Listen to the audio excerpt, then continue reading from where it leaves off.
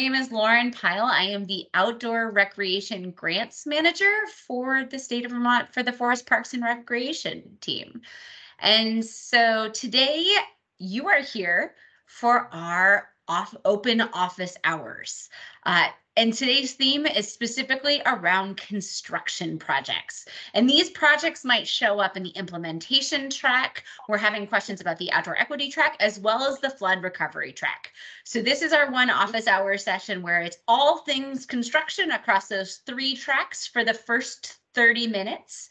And then depending on the flow of conversation for the final 30 minutes of our session, it'll be open Q&A about anything and everything grants uh, that you would like to talk about as related to the VOREC Community Grant Program. And so for those of you hopping on, I'll just do one more quick intro. My name is Lauren Pyle. I'm the Outdoor Recreation Grants Manager. Uh, and so I'll be facilitating today's open office session. We do ask that today that you stay on mute, except when it is uh, your opportunity to ask a question. So you're welcome to ask a question uh, one of three ways. One is you can drop it into the chat at any time and we'll go through. You can use the raise hand function within Teams. It looks like the little hand icon and then we'll call on people as we go. Or if it's kind of a lull in the conversation, you're like, this is it it's happening. Just go ahead and unmute and it's all you. Um, so we're going to go ahead and try to answer as many questions as you can. And it's really about you today. And so with that, um, I will open it up and let you all get started. Oh, sorry. One more pause. This meeting is being recorded. You probably got the notification from Teams. So this meeting is being recorded. We plan to post the recording on the website afterwards for those who could not make it today. And so now who would like to kick us off with our first question of the day? All right, I see a hand up there, a, a camera hand. So that is uh, zoning administrator is your name uh, showing up on Teams today. Uh, hello, can you hear me? Yes, I can. Okay, uh, Tom Badowski with the town of Berlin. I will have uh, one of many questions for you, Lauren. So um, on, we're doing a land acquisition. And one of the, the first questions is acquisition type. Fee acquisition or fee acquisition with an easement. We have a unique uh, uh, project here where we're partnering uh, with a solar developer that has a permit for a 20-year solar farm. And so it's not an easement, but it's a lease. So we want to buy 94 acres 20 of it, which will be in solar farm for 20 years, and then the town will have complete 94 acres. So which one do I, I, which one do I check here? Fee acquisition or free fee acquisition with a easement? It's not an easement, but it's a lease. That's a great question. And Claire Polfus is also with us today. So Claire is the Recreation Programs Manager for Vermont FPR. Uh, and Claire, I'm going to tag you in on this one. Sure. Um, it sounds to me like that's an in fee that you are acquiring the land in fee for the town and it has an existing lease on that land. So I would put in fee. Um, it is a unique situation and we will, you know, review it as needed um, beyond that question. When you say in fee, that is fee acquisition, correct? Fee acquisition, yes, sorry. All right. Thank you very much for that question, for taking us the first one. Who's got the next question that you'd like to share today?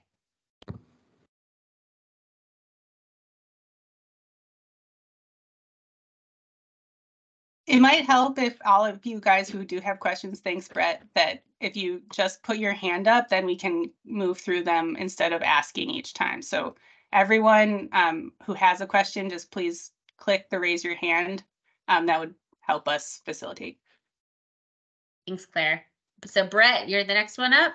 Yeah, uh, nice to meet everyone. I'm, my name is Brett. I'm with CRO Planning and Design, looking into a product development grant. And I just wanted to confirm that project development grant dollars can go towards uh, permitting and the cost for permits. I see engineering costs and contracting, but not permits specifically. So I just wanted to double check with that.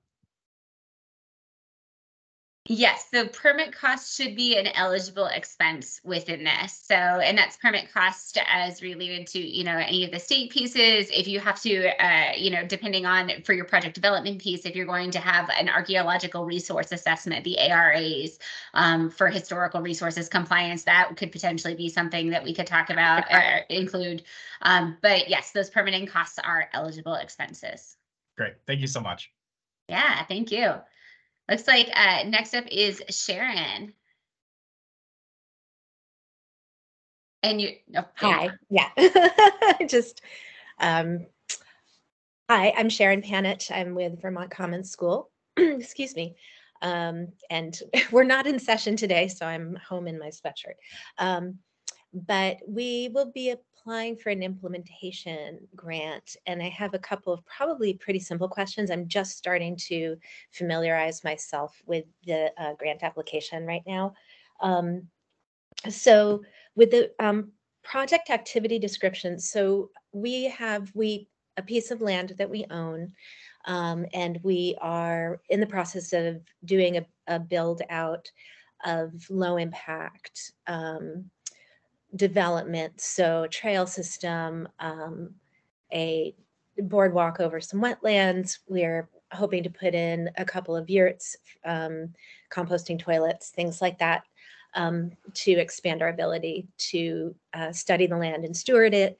And um, so there, there are multiple pieces, some of which are already in process, but um, for project activities, would we want to break down um, each of those specific uh, build outs? So trail system would be one activity, creating a learning pavilion would be another, um, and then and then build a timeline for using each each individual component.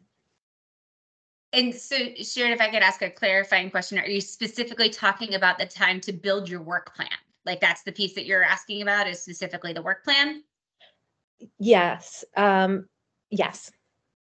I would say for that, to bundle them in a way that is cohesive for your project. And I know that that is uh, not just me trying to hedge my bets and not answer the question, um, but what are the steps that are there? Because there could be something that says, you know, like uh, you mentioned building the yurt. Is Yeah. that a lot of steps to get to building your yurt? Or is that sign the contract with the yurt company and let them install it? Because those are really mm. different scopes of work, right? In terms of how you're doing that. Because if you have these multiple simple single line activities, like bundle them together. Tell us the big mm. picture as you're putting it together. But if you're saying, well, we're working on the yurts, and then like this is step one, this is step two, this is step three, this is step four. Yurts is a bundle of activities. And now we're going to go to composting toilet. It's a whole different set of activities with a whole different group of people. Like, let's call that out and be separate. And so, just as you're trying to build the work plan, we're not trying to put it to say, like, oh, it must be in this bucket, um, but Yeah. put it into what feels like you can tell the story and that somebody else who is not on this call and who isn't familiar with your project could look at it and follow along. Uh, a, a, strategy I often recommend uh, to folks uh, like as you're building a work plan or even review developing your grant application is if you have like a colleague or a, even a family member a friend who is outside of the project before you submit it if you can share that with them to have that outside perspective they might be able to raise a lot of the same questions that our reviewers are going to raise to say this doesn't make sense to me. As someone who isn't as intimately familiar with the project what can it be? And so Right. that being said like put it together with a way that you feel like is going to share that story um in in the way that is most powerful does that answer your question sharon Yeah, yeah, it really does. Um, be, yeah, and especially because for each component, you know, we're looking at um, different groups of people being involved, including students. Um, and so being able to tell, to just tell it as a story um, and how we see it progressing. Um, That's a, and that's really important to I Sharon, and I just want to add because we're focusing on construction projects that there are components of construction projects that we'll want to see that you've thought about, like in particular the the planning and design, like so that Mhm. either that you have a design for that boardwalk, for example, Yeah. and that that you have the permitting in place or you are this is the process you'll use to get the permitting. So we wouldn't want to see like build a trail system as one line in your in your Sure. project plan because like we want to make sure that you've taken the steps that that you need to Yeah. to go through with that. So like Lauren said, there's like that balance between we don't want we don't need to say like I am going to call this person and then I'm going to talk to this person and Right. you know we don't need that but we want to we want to see that your project particularly in implementation is ready to implement once Yeah. you get the grant agreement signed. And so call Yeah. out those things that separate like if you're in wetlands we know there's like call that out. If you're on upland you don't need as much permitting. So we that doesn't yeah. need to be called out. Yeah, no, we're, we're fully, fully permitted and um, it's all, and we have the site map and everything's approved and we're Act two fifty and on all of it. So I'll just be really clear about that. Um, I had another quick question. This may sound really silly, but I just want to be clear on it. Um, with the landowner permission, as since we own the land, do we need to submit that? No, so if you own the land, for anybody who's doing construction, and if you, your organization, your township owns the land, you do not need the landowner permission forms. The Okay. landowner permission forms are only for land that you are working on that you do not own.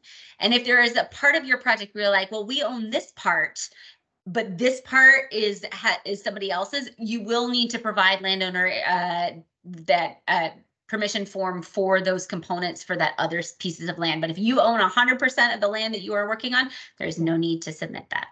Okay. Awesome, thank you. Uh, Thank you, next David. hand I see is from Maddie. Hi there. Yeah, this is Madison Shropshire from Addison County Regional Planning Commission, and I have Stan from the town of Cornwall with me. Um, I think between Brett and Sharon, we got most of our question answered, but I just want to clarify for our situation. Um, much like Sharon, we have a big project with lots of component pieces. Um, and we have quotes and designs for all of those component pieces. We have a design for the overall layout of the property, but we don't have an engineering um, site grading plan for the entire property. Is that um, kind of a big obstacle for the implementation grant? And can we include that in our eligible work plan if it's necessary? Claire, I'm gonna tag you in on this one.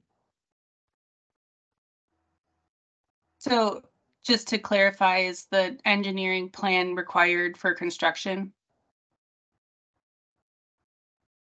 So we, we don't have a grading plan to kind of comprehensively look at all of the pieces of the project yet. We have a scope of work built to ask for that plan. Um, but we're trying to decide if we need, if we should wait until after we've applied for the VOREC grant or if we should move forward with that separately. So individual components of the project could be built without this. But we want to make sure that, you know, water runoff isn't going to disrupt one piece because we built the other. Does that make sense? Yeah, do you have the permits yet or not? We're working on those too. You're working on them currently? Yeah. Um. So it sounds like you have almost everything is what you're saying. Um, that's, that's a little tricky. So like our, our general eligibility is that like planning tasks are not eligible under implementation. Um, however, you know, if you have ninety percent of it and you can't get something done because it's winter now, it was seven degrees at my house last night, you're not gonna dig into the ground right now.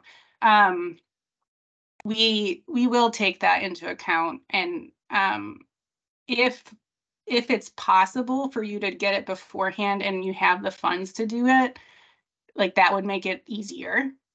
Um, because it isn't technically an eligible expense. If it's not possible and you want to request funds, um, we can always say like, we'll pay, we'll pay for everything but this element of your budget. Um, so I wouldn't not apply because you have one more thing that you need. Um, but just note that is that you acknowledge that is a planning expense that and and tell us if you can do it without the grant or if you can't. Does Okay. that make sense? Yeah, that does make sense. Thank you very much. Thanks, Claire, and thanks, Maddie, for that question. Next up, we have a question from Belle.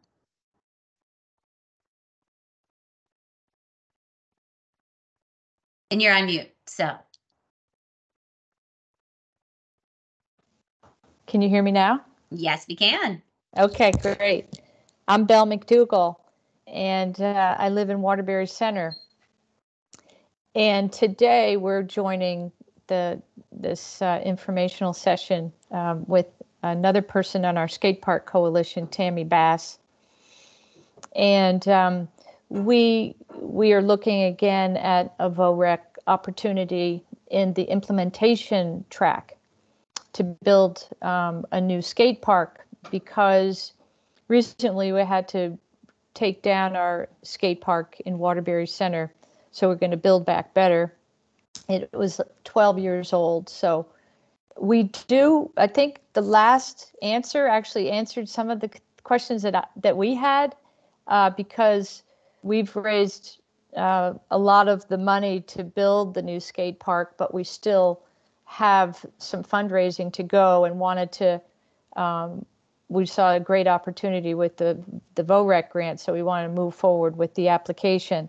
We have um, uh, an appointment, or we're on the schedule for our development review board on December 6th. So we're we're working through the permitting um, for the surface water, and we don't have engineered drawings yet of our design, but our work plan and timeline is fully intact. So it sounds like we should definitely proceed and that shouldn't be an obstacle for us at this point.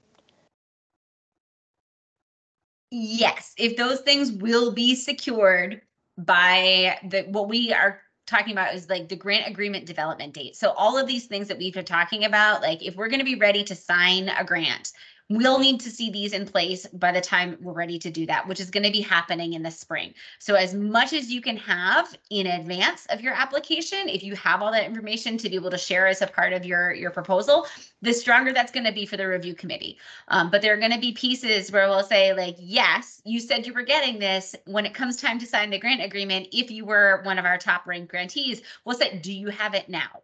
Um, so that will be a piece is like there are certain factors that we're going to need to be into play before we do that.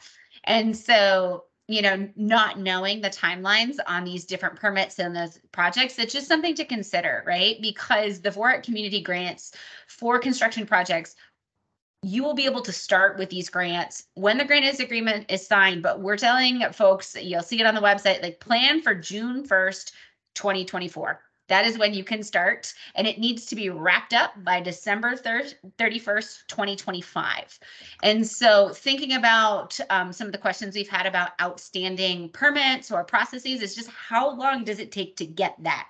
Like, if you will have it in place by March, um, that feels like it might be a really a good proposal to be able to say we're going to have it in place by March. We feel really Yeah. confident we're already in the process.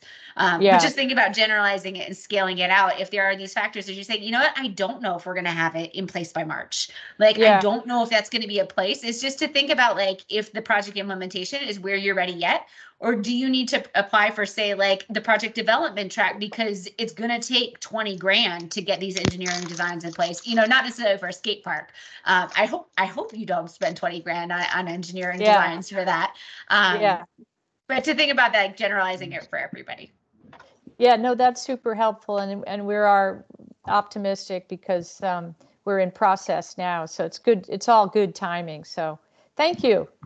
yeah thank you all right the next one i think is coming up from anne down there is uh it looks like anne Craven. Um, A- Ann Craven, is that me? Okay. yes that's you Um, your it's your question Okay. Um, we had some computer problems, so I hope I'm not repeating our questions. I'm from Glover, the Glover Recreation Committee, and I have a couple of members here, Michelle and Dominique, and I think Jethro's also on the line, who's part of our committee. Um, so they may have questions too. Um, my first question has to do with, we own the land that the, what we're going to do is enhance the, the recreation park, which right now has a ball field and a pump court, And we want to add some pickleball courts and uh, a really big playground. Um, and so the town owns the land, but there is an easement from the Vermont Housing and Conservation Board that the, the property has to be used for recreation. So we really fit into that. But what do we need to get from the board for, for the grant application? That's a great question. I know in the application guidance, we've got some specific recommendations uh, included there in terms of getting the landowner permission forms. So if there is like document that is public record that demonstrates that this land is is intended for public easement or for public recreation, um, like that's a good piece to pull together. Um, you know, we do have those landowner uh, permission forms that are also posted on the website. I, and I can see there's uh, another question in the chat about those, so I'll come back to that one. Um, but that can be a, a piece to to include if you if you don't have that. But if you already have say like signed permission from your town that is for in support of this project that's on town letterhead that says all the same things that the landowner permission form state and you already have that document invitation in place you can use that existing documentation. You don't have to use the forms we've given you if you have other proof of landowner uh, permissions, but it must say the same types of information because it can't just be like for anything that you want recreation on our land, you can do it um, because that has come up a few times in the past uh, for different grantees where somebody thought they had basically like universal approval from the landowner. And then uh, the landowner said, I didn't approve this specific scope of work. Um, and it gets to be that piece. So make sure that that is aside there. Claire, do you have other pieces you want to add to that? Yeah, I think the so it's really easy if you own the land outright and there aren't any leases or easements on the land. Um, obviously, it will depend on what the lease or easement says. And so if the particular easement from VHCB says like we own the recreation rights, like the public access rights to this property, then you need permission. And there are all sorts of easements like that out there that like public access easements, they own that right to the property. And that's what you're asking us to do is improve the public access. And so we need their permission if there's an easement that does that says you know something else that doesn't have anything to do with that and the town still owns all other rights you it would be great to just get like a letter of support from the easement holder or something like that. We might not need actual permission. So easements can really complicate things because they can say so many different things because they pull out different rights to land and say this person owns those rights well the the person who owns the land in fee doesn't own those rights. So it really depends on the easement. The second thing that I wanted to mention is that we've gotten now a question about a skate park and about a playground. That's a really big fuzzy area for us because VOREC defines outdoor recreation as experiencing the outdoors of a community that directly like the natural setting of the community is directly related to the recreation in that. So simply building a playground or a skate park doesn't qualify. However, we also are looking to reduce barriers to the outdoors. So if your skate park you can show is is teaching people how to you know then take their skills to snowboard or to to um, surf on like rivers or um, your your playground is like reducing barriers to the outdoors and teaching people how to how to um, be outside, be comfortable outside. However, if it's just a built playground, that's not going to rank highly in the VOREC community grants. Um, I would encourage you, if you're thinking about a playground, to to think about natural elements that would like bridge that gap. Um, so like we we've gotten a number of requests for playgrounds. We know that there's a need, but um, currently the eligibility criteria do, does not include just a direct playground um, unless there's a clear link to outdoor recreation, link to the natural um, amenities of your town. But it's not impossible. So I do want to acknowledge that. Like, I'll drop a link in the chat here to one of our previous grantees who made that connection. Um, so the town of Ludlow uh, did a skate park, and so if you want to read more about how someone else built those connections, um, be sure to check that out. Uh, I also want to uh, address the question in the chat right now, uh, specifically around landowner permission forms. So if the landowner is part of the project team but not the lead applicant, you still need the landowner permission form. So in the case of this grant application, the lead applicant is the organization or the entity with which uh, who will enter into the grant agreement with the Department of Forest Parks and Recreation. This is the person who is ultimately accountable for the project, who is going to be footing the bill for the project and then seeking reimbursement from the state. They're going to be the ones who are responsible for ensuring that the reports are there. Um, so they are doing the financial management. That is who needs to be your lead applicant. And you might have these amazing core partners, but if they are anyone other than the lead applicant owning the land, you need to be able to show that documentation with the landowner permissions. Um, and we do have a form up there. We've tried to make it easy for you to secure those um, and get that, but you do need that if it is anyone other than the lead applicant. Um, so Anne, I know we, we've kind of popped off your question there. Did that, did that fully answer right. it? Um, I think Dominic has a question and then I have another one. Go ahead. Yeah, I have a little bit of a follow-up. Um, So uh, the reason I'm here is that from the playground perspective, I was hearing rumors that if that's the uh, way you're going, that it has to be a sort of like a- an approved uh, commercial grade playground, that sort of thing. But our- our initial vision was actually more to try to do something that's in keeping with the character and the, and the vibe of a place meaning uh, building the playground out of a central covered bridge, um, which we would uh, design with one of the local timber frame companies and help them help us build it and erect it. And um, I mean, you know, it could be an educational thing. It doesn't have to be necessarily just a physical thing that ties it to the outdoors, right? We could we could incorporate like some uh, like a little sugar house or some information about that if it if it helps it distinguish it from just your basic plastic and metal playground. You know what I'm saying? Yeah, I hear you. And I don't think for us the limitation on playgrounds is not necessarily the the structure itself. It's not saying okay, it has to be a commercial built versus like say I, I used to build in my previous career like nature play spaces, right? So I was like all about the stump jumps and the fort building stations. And so it's not delineating between like those types of structures, it's like how your playground is designed, so much as like what is the purpose of the playground? Like, Okay. how does that playground unite the community and think about economic development and unite ideally the outdoor recreation resources in the community? And so it's not necessarily as is it a constructed playground? Is it a different design? But like, what is the draw and how will that advance the outdoor economy in your area? Uh, because what we're going to be looking through is through um, a lot of the information that's posted on the website already. We're looking at, you know, the VOREC pillars. That's a huge part of the application. Is how does your project connect to the VOREC pillars? That's a that's a significantly weighted part of the components. Um, the other piece that will be there in any track that you choose. So we're talking about construction today, which falls under flood recovery, implementation, or um, outdoor equity can ha- all have construction projects. But each of those different tracks has different questions related to it.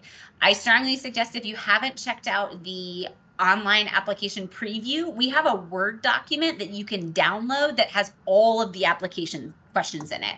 But it'll show you the priorities for each of the tracks. And then it's going to say every track has the thing of how does your project match these priorities? And so that's the story it is that we really want you to think about how to tell. And I'm going to drop another link in the chat here. Um, for folks who are just thinking about playgrounds, uh, we actually administer an entirely different program that is just supporting um, recreation infrastructure. Uh, and that is the Land and Water Conservation Fund. It has some other pieces too. Um, we don't have the dates yet, but we're working on finalizing dates for an open round of proposals in 2024. Um, so I put that in the chat. So if you're trying to think like, is the, the VOREC community grant the right fit, you'll have that as an alternate opportunity. Okay, that, that's helpful. And so Um, did you have one more quick one before I go to the next I person? I do, I do, Lauren. Um, The reimbursement system, could you say a little bit about that? Um, Do the bills have to be paid and then submitted to you? That how it Yes. works? And, and, and we do recognize that this is a challenge, especially for smaller nonprofits and smaller municipalities, um, smaller entities in general for anything, uh, is that VOREC is a reimbursement grant. Uh, and so what that means is that you have to spend those funds, document the the spending of those funds, and then seek reimbursement. You are eligible to seek reimbursement uh, roughly once a quarter um, as a grantee, and your grant agreement will include all the provisions that you need to to to show with that of like what do you need to submit exactly? Um, but you can submit roughly once a quarter for that. That is the max number max frequency it is but you need to be able to basically front all of those costs and then you'll submit your reimbursement request if you're awarded. And then um, we are acknowledging folks you know like once the reimbursement request comes in like we have to review it we have to check it it has to go to the business office it has uh, like a couple more steps on the way. Um, we get it out to you as quickly as our, as we can but realistically that is four to six weeks from when we get it. Um, and so uh, we are trying to do that but that just is something to be aware of for this project and also like your organization's readiness and capacity to lead it and how big you can go. Thank So- you. yeah you're welcome. And with that the next question is to nicole Hi, thank you.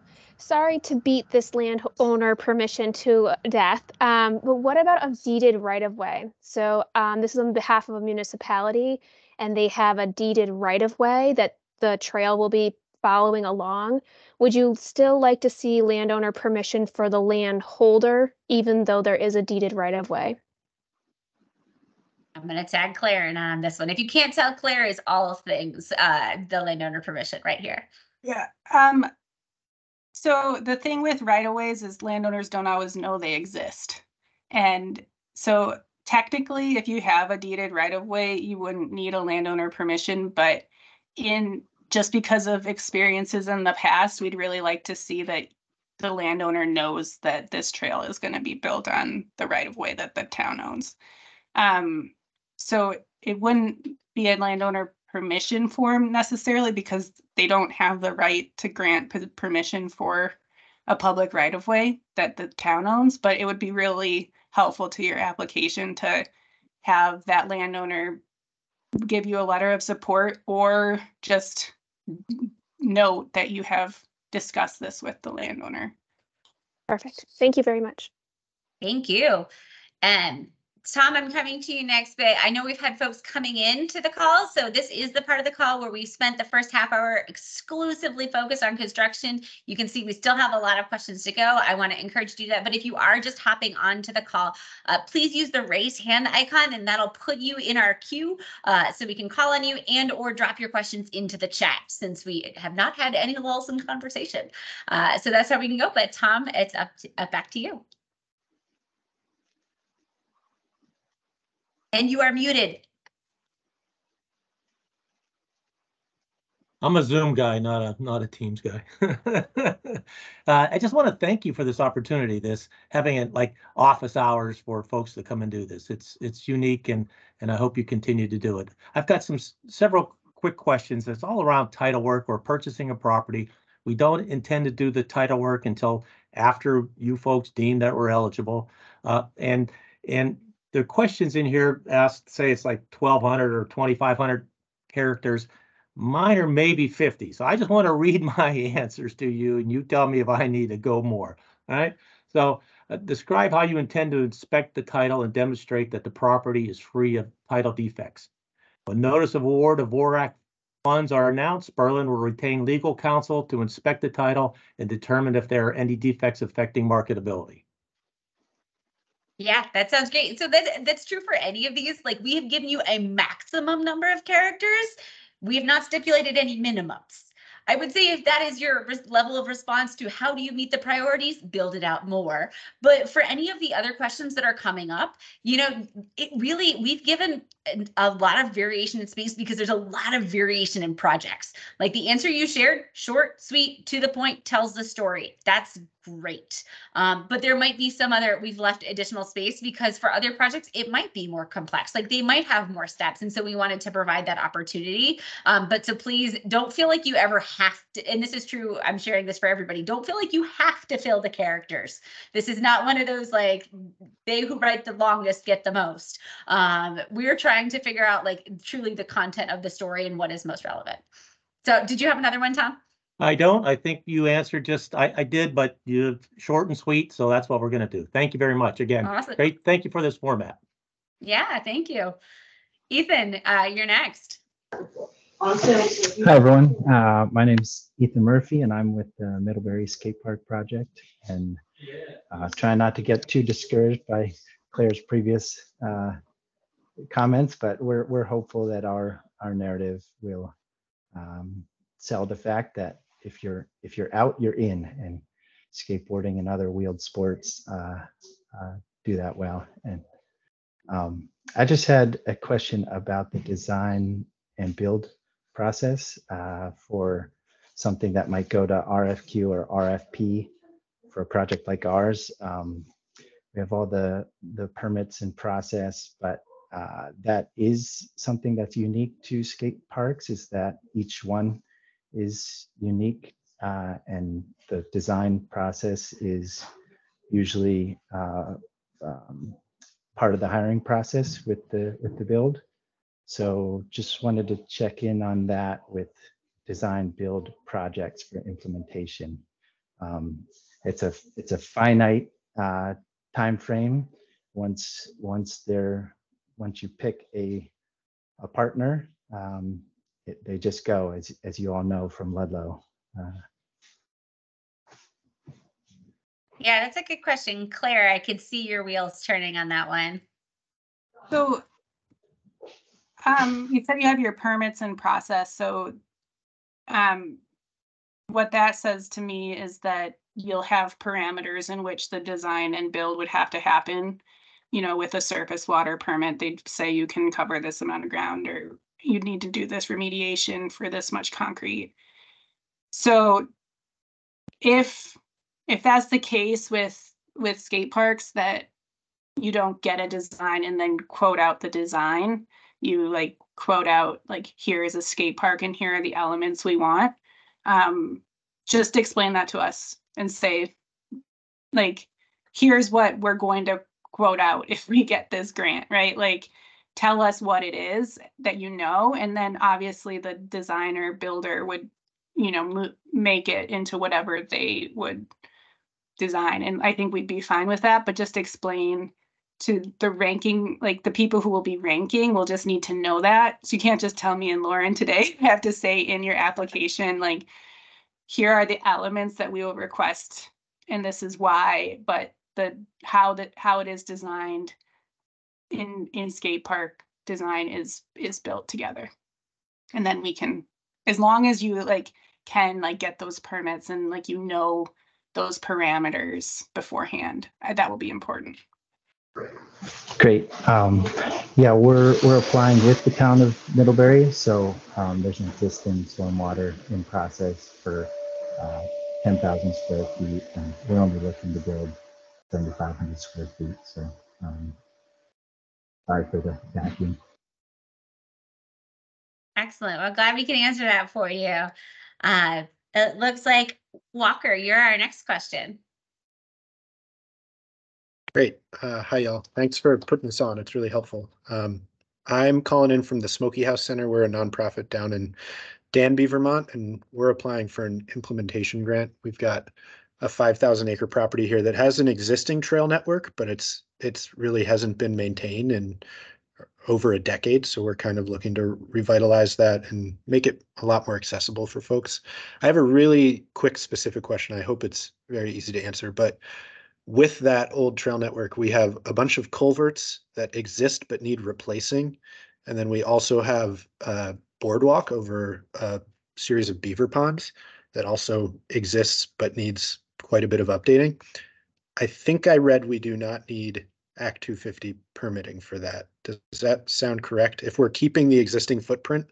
Um, I'm going to encourage you for any permits, if you're doing any construction, this is something you'll see in the application, is that you'll have to do the permit navigator guide. Um, and so it will tell you what permits you need. You know, Claire's mentioned several with, you know, surface water or there's this one or that one. Like go and do the permit navigator report and it's going to tell you what are the things to think about. Um, so that that's definitely going to be a piece. Uh, and for anybody who's doing permit navigator, there is a checkbox. They actually like put it in there three different times of like, do you want a jurisdictional opinion? If you do not want a jurisdictional opinion, aka you don't want what you put in there to be sent to staff to review and actually like give a final decision on, on whether you need a permit, do not check the box. Uh, you can go through there just uh, basically as a guest. I did it to test it. You can go through it as a guest, still get the report printout that you can have to understand that that isn't in a binding kind of a way. Um, so I suggest that you do that as a piece just to start to think about that. The other piece that comes to my mind um, is a question that we've had about the VOREC community grants is, uh, and this might not be your project, but if you were hearing the pieces about uh, playgrounds and skate parks, uh, and we're saying, okay, make sure you connect it to the bigger outdoor economy in your area. The same is true for trails with the VOREC community grant. You need to do that. If it is a simple trail grant, knowing that trail work is never simple, we actually just released yesterday uh, the pre-applications for the recreational trails program. Um, so that is an entirely separate grant program that is just about trails. Um, so that is true for, you know, if it applies to your project or anybody else on the call, if you are, it's, it's for municipalities, nonprofits and other governmental entities, including like tribal organizations or, or regional governments. Um, that opportunity is available uh, and we just posted the information yesterday pre-applications for that are due december 30th um, so did that answer your questions walker and then some yeah, I think so. Thank you. I appreciate it. Um, I just wanted to do a, also a plug. Um, so well, first, like, although there is the RTP program for like a simple, simple trail project, if if your project does have a trails that connect to a, a downtown or to your your location and you're doing programming at your location that's added to the trails, that is a fit for VOREC as well. So like we will uh, have trail work as part of a VOREC grant. It just can't be the only thing that you do is doing a trail unless like the trail is like building a trail that connects a community park to a school or something like that. Um, but I just want to, you mentioned the culverts that needed to be replaced. As you guys all know, we have a flood recovery um, uh, track for um, assets that were damaged during the floods of last year. But if your assets weren't damaged, but you still know that you need new culverts because you just got lucky this time, um, please note that. And we are very, very, very willing to upgrade. Um, so we, like, if you are having an expanded trail system as part of a VOREC grant, please say, here's why we are we are asking for this much more money because we want to like right size the culverts or build bridges instead in certain situations um, to make it more resilient. Um, resilience and and natural and, and environmental conservation are priorities across all of the tracks. And I just want to emphasize like going forward, like of all the things we learned last summer, it's like we need to um, have better water structures. So culverts, bridges, please be thinking about that when you're submitting your grants. thank you jennifer you're up next Thank you, and thank you for doing this. Really appreciate it. The project that I'm working on is with the Green Mountain Conservancy, and we're down in southern Vermont. And there is a piece of land which has come up for sale. It's about 200 acres. There are actually three different owners of a family. And it's next to the former Marlboro College land, which is about 500 acres, and which is now owned by Potash Hill Inc. And what we're working on is uh, so that 200 acres is landlocked, if you will. But Potash Hill has been very generous about letting people use that land and use the trail. Um, and also the the owners of the land have been very generous about that. And uh, so we'd now like to codify that and have a very small uh, parking area, which Potash Hill has agreed to, and a small walking trail that goes into the main trail system there's a group called the Marlboro Nordic Ski Club, which uses those trails, and lots and lots of young kids are now, and we're just so excited about the exposure that they're getting. So it would be Green Mountain Conservancy applying. Um, what I'm really excited about is the idea of, of requesting some from the VOREC grant for land acquisition. We put in a large grant application uh, to VHCB. Um, and we a couple of other entities as well, and we're going to do private fundraising. And then uh, the VOREC would be for a small amount of the land acquisition and the tra- building of the trail across Potash Hill and the uh, parking area. And at the parking area, the owners of the land would really like to honor their grandparents who started Marlboro College and um, their family have stewarded the land. So there would be some, we're hoping that we could put in for VOREC for that signage. And um, also, one of the three family members is really interested in thinking that she said, well, we weren't the first people there. The indigenous people were the first people who used that land. So we're finding out more about that and having a land acknowledgement that would also be part of it. So in my mind, it's a nice package, but I could also see how it could be viewed as a bunch of different things. And so I just wanted your your thoughts on that. Yeah. Well, and I think that's the the the thing that makes the VOREC community grants different from the RTP grants is that RT the VOREC community grants give you a chance to tell that community story. Like that's what it, these grants are about is like bringing together all of these different elements to build that outdoor recreation economy. And so like that actually is a much better fit for the VOREC community grant than it would be for just an RTP grant. It, you have a better space to tell that story. Um, the only thing that gave me pause on this, and it's just something to be sure to, to hear in your application, Claire might have other pieces, is that you mentioned that the land is being sold. That is a piece that, like, thinking about all these conversations we've had around land landowner permissions, has been a piece. You know, we've had folks who say, well, we're going to build a trail, but we don't own it yet. Um, and it's saying, okay, well, we're going to own the land. Like, can you prove that you're going to own the land? When will that land sale be complete to be able to ha- say, like, we are the landowners by the implementation date? Because uh, there, if, if there's that pause, that's gonna that's gonna throw some wrenches in. If you're like, actually, the sale didn't go through till August of this, you know, this upcoming year. You know, I hope that's not the case, but if the sale doesn't go through to August, that's really going to impact your implementation time window. Um, so that would be the, the piece that gives me pause is just to think about how landowner permissions are going to play through with that potential transfer of property. Yeah, I would just add to that too, Lauren. It sounds like you, no matter what, will need landowner permission at, at the Marlboro Co- College property. And one thing that might help your application is to show that that element of the project is valuable no, no matter what happens with the land acquisition element of the project. Um, so that's like one thing to tell that story. So like we can say like you are ready to put in the parking lot and the kiosk and the memorial and the walking trail. And then we also could you know partially fund a land acquisition. That's that qualifies under project implementation.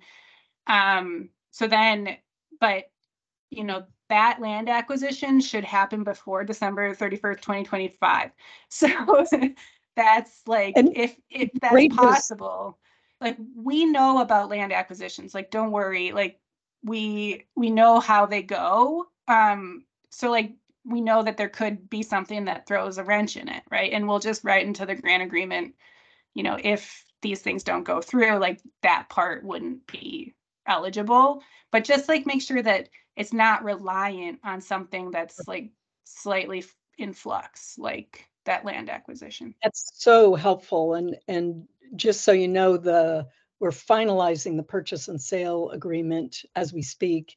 And it's for October 2024, um, the end of October. And so, which is far out, but we feel like we need that time. We're working with the Vermont River Conservancy on a conservation easement. And um, so that's really helpful. One, one question I had sort of related to the land acquisition was um, the reimbursement element of it. You know, I think with, for example, VHCB, if we were to be funded by them, we were sort of looking toward having the money and then purchasing the land, but it sounds like this would be somehow us purchasing the land and then getting reimbursed. It is. These grants are exclusively reimbursement based. We don't have any kind of cash advance that's built into the grant Perfect. program this year. Perfect. All right. Well, thank you so much. Yeah, thank you. Drew, you're up next. Hey, uh, thanks a lot. Um, I was excited to hear about all these projects uh, that people have in mind. Uh, really exciting. Um, I, as you know, wear several hats. I'm asking from a VRPA, Vermont Recreation and Parks Association hat, and it's about the equity track. So I wanted to keep it to the end. Um, but we were looking at um, uh, making that a, a focus of our conference as well as perhaps several of our events. We were thinking of um, asking for things to support equity um, kind of programming throughout our entire calendar year um, and you know scholarships as well and a couple of different things.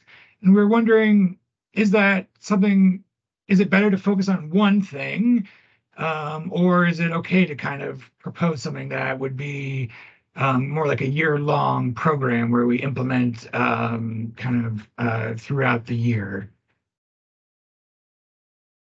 That's a good question. And I would say, in general, you know, it doesn't have to be a one and done opportunity. That is not what the VOREC grant community grant has to be focused on, especially when it relates to the outdoor equity programs. Like, it doesn't have to be that. I would say, though, if you are combining multiple elements, how do they all build and complement each other? It's going to have to feel like it's a holistic project and not it's the three things that were on your wish list that you've just been trying to get funded. And, and I just say that, like, as someone who you who who wrote a lot of grants it's like sometimes like there's that really natural piece of like they all go together and this is how all of these different parts are going to happen. Um, for the outdoor equity track in particular um, i strongly if you i drew i know you've been on a couple of these calls already and i mentioned it but that the application is something that i, I recommend you look into because you know each of these uh, as i mentioned before each of the tracks have different questions of the outdoor equity track. Like there is a piece in there about like who are those partners and how does it kind of shape together? Like how does it how does it how are they engaged and involved? And so for something like an association to say we are doing this for like who else is with you? Um, that's going to be an important part of the conversation there is like who else is a part of that and how have they shaped the proposal and how have they been engaged? Um, that's been something we've been talking with the office of racial equity about a lot is like how we can evaluate that through the proposals that are there. And so there is that big space to talk about those partners. And so to, to really like pull that and, and have that be a, a big feature as you're bringing it all together. Does that make sense? Yeah, that's super helpful. Um, the other thing I would add is um, we can't we can't do pass through grants and scholarships are pretty would be pretty difficult as well. So um, and the reason for that is when we sign the grant agreement, we need to know who is getting the funds um, and how they're going to use them. So it is a limitation, especially with the equity track of, you know, we acknowledge that funding can be a barrier. Um, and sometimes it's just funding, like a scholarship that would would make it possible. Of course, like we can say like reducing the costs of a program, for example, rather than giving individuals scholarships. There, you know, there's ways that we can do it. So if you have an idea of about a scholarship or that sort of thing, like please reach out to us so we can frame it in a way that's actually eligible under like state contracting rules. Um, so that's just something to think about. And like mini grants, like running a mini grant program is is not going to be possible for us right now. That is super helpful. That helps us know about that scholarship element. Um, we do have that already as part of our programs, and our hope was to make like volunteer commissions, like some folks on the call, have more access. Um, but if we are able to, um, we can use our continue to use our funds for that, and then you know that's really helpful to help refine like, what should be in and, and out. Um, so yeah, super appreciate that. Awesome. Uh, Britta, I think yours is next. And we can't hear you. I see that you're unmuted, but we can't hear you.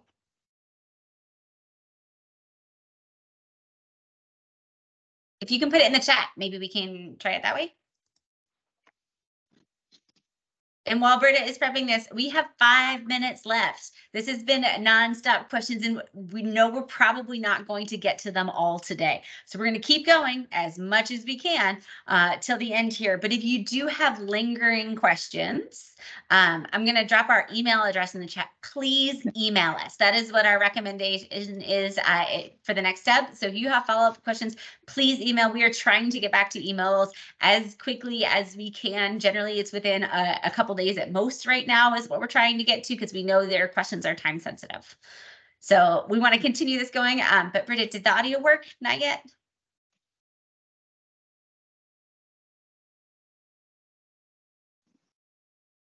Not yet. If you're able to put it in the chat, we can go from there.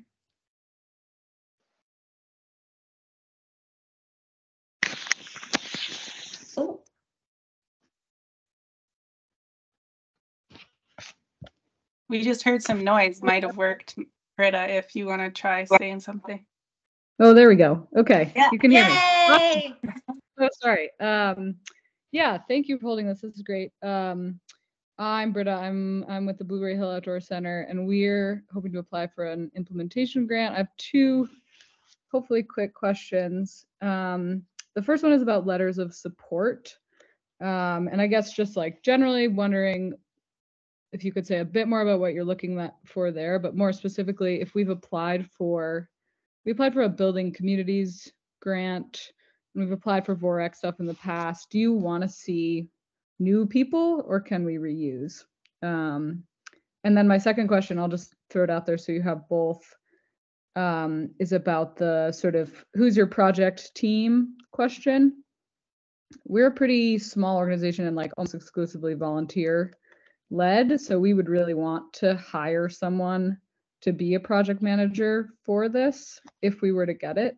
And I'm just curious whether you'd want to see that person already be kind of on board or have a few suggestions for that person, or whether it would be okay to just say, like, we know that we need someone who's paid, who's not volunteer to to manage this.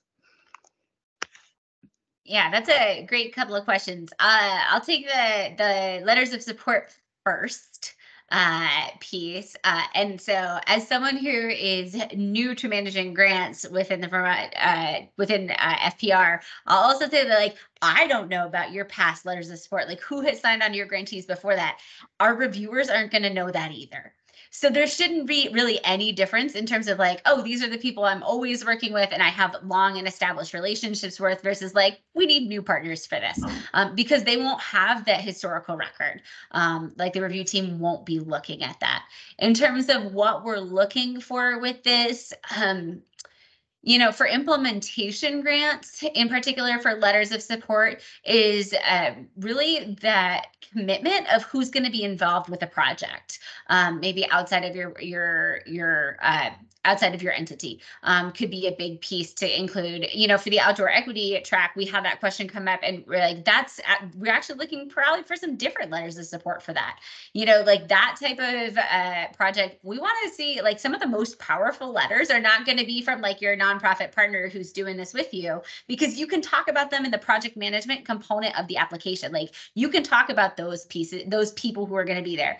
And so if you have that opportunity, like if there are people who are going to be impacted by your work, who can really like make that case and that really share their story of why this is important and why they're with you and value it, that's going to really strengthen your proposal too. So even for your implementation grant, if you do have some of those potential storytellers who can help to make that case, like those are going to be some of your strongest letters of support. Um, the generic boilerplate, I agreed to do the work that said I was going to be in the scope of work like that is valuable and that is an important but it just if you do have that alternate opportunity because the letters of support are limited it's going to make a stronger case statement to help tell your story that way. And then in terms of the project management team like that side of the actually i'll pause. Claire did you have anything else to add for letters of support? Okay, uh, for the project management part of the application, that is your space to use to say, who are you know who is going to be doing this work? Uh, and so if you don't have that person in place yet we recognize that like you probably need money to be able to hire somebody. And if you're going to go through an open review process is it going to be a bid with a contractor? To tell us the story of how you're going to find that is going to be the important thing and like what are the key characteristics of what the person you're looking for? You don't have to necessarily have selected a candidate to say we're going to hire a staff but it is different right? It's fundamentally different to say we're going to hire a temporary staff member or you know a term limited position who's or even a contract for us versus to say we're going to contract with this other firm who does project management. Um, and so tell us the story of like why it is and then share how they're going to be involved who else is going to be involved like those kind of relationships and also why it makes sense for you right? Like you said we are an all volunteer organization. Like that right there to lead into and this is why we're hiring someone to do the work um, makes a more powerful statement than just oh we're going to hire somebody for anybody who doesn't know your organization And I would just add, we've said this in other calls as well, but if you're anticipating hiring a contractor, we strongly recommend reaching out to a couple contractors to get an idea of prices. Um, so you can put that into your grant. Um, that's something that, you know, people know um, is expected. And so like we want to get, you know, we have one chance to to get it right in terms of your budget. And so like we want your budget to be as realistic as possible. We can make amendments if something comes up, but like things like, you know, costs of of gravel have like gone up a ton in the last 6 months. Um, that's something that we would maybe have to make an amendment for if that would happen again. But please don't use um, cost estimates from last spring, like for any kind of construction project. Those are not going to be accurate. So um, take the time in the next little less than a month to get those estimates um, as accurate as possible because it's a lot harder. You know, now it's a lot easier to change those numbers than it will be six months from now when we're signing grant agreements. And it is okay to add anticipated raises in cost into your budget. That's been something we talked about to say, like, well, we got costs that all said it was going to be a thousand dollars, but we want to budget eleven hundred just to be safe. Like that is something that you can do is to budget into an anticipated uh, inflation of costs uh, for anything. We are a little over our hour. Maddie, I see the question is scare. I'm going to be happy to stay on and continue answering this this question that we've got. Um, but for folks who have to hop off, uh, you know, you're welcome to do that. We will be sharing the recording afterwards and and have a great rest of your day. But Maddie, I, I just want to acknowledge we are over time, but I'm happy to stay and, and get your last question answered. Yeah, thank you. Stan, take it. Uh, we have a uh, outdoor recreation project that has many components in it. One of the components is a walking trail that's going to be primarily used by the uh, contiguous school to this uh, recreation area. It's also going to be used by a geriatric walking group. The ages are 75 to 95. The question is, the trail system is a component of a larger project. I noticed that we have the Recreational Trails Program Fund available for application by the end of the month. Is it possible to include the trail system as part of the application process for the VOREC and the recreational trails program? That is a great question. And the challenge with this is that they are two different sets of po- pots of money operating on two different time levels or like two different time scales in terms of when we're going to be reviewing them and coming to that decision what I would recommend to do is to say like, is there, are there components that you can bisect that project and say, well, we're going to put part in the VOREC and part in the RTP. And if like you just got RTP funds or just got VOREC community grant funds, both of them would be successful. Like, can you divide your project in that way to make it, you know, so if you get both, great. If you only got one or the other, your project would still be successful. Um, I would hesitate to recommend you duplicate your efforts um, just because they have different questions and even different requirements. Um, and I think that that could be challenging for you to say, oh, do we pick, you know, we're going to hear about VOREC first, and that is state funds. So there's different compliance requirements for that. Do we sit with that one, or like, do we hope that like we get more money from the RTP program and then have to do federal requirements? I think like for if it if it's truly like a meshed project, I might just pick one or the other. Or if you can try to separate them, you could apply for both that way. Does that make sense? Yes, thank you. Okay. Yeah, I would just add that um, one of the benefits, uh, we rearranged, reorganized how we do grants. And so the Lauren is um, facilitating all of our outdoor recreation grants. In the future, we're going to spread them out. So questions like that don't happen. We we couldn't this year for a variety of reasons.